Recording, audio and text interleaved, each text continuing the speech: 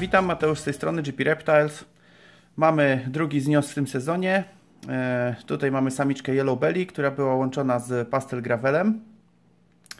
No i nie wiem, czy już skończyła składać, czy jeszcze coś jej tam zostało. Także dam jej jeszcze chwilę, bo widzę, że jest niespokojna z racji, że jej tutaj e, przeszkadzam.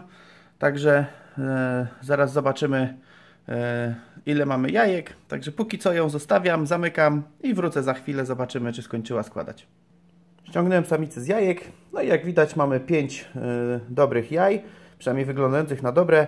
Za chwilę je prześwietlę, no i zobaczymy, czy, czy, czy, czy są zapłodnione. Natomiast te trzy małe, takie ciemne, które tu widzicie, są, są niezapłodnione. Jak ja to mówię, z buki.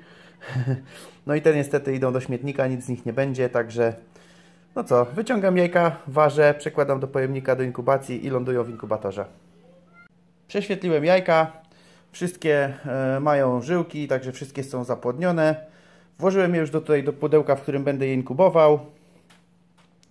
E, nie pozostaje mi nic innego jak e, zamknąć pojemnik. Jajka, ja jeszcze dodam, bo jajka ważą 512 gramów, czyli taki standard, tylko 100 gramów na jajko. Opisałem też sobie tutaj co nieco trochę więcej informacji. Zawsze to robię, żeby mi było potem łatwiej zaglądać do inkubatora czyli Yellow Belly do Pastel Gravel, 24 marca złożone, 19, 19 maja cięcie, 5 sztuk, 512 gramów, taki standardzik, e, komplet takich podstawowych informacji. No i cóż, zamykam pudełko, wrzucam do inkubatora. Mam nadzieję, że Wam się filmik podobał. E, jeśli tak, to subskrybujcie, polubcie oczywiście, no i do zobaczenia w następnym.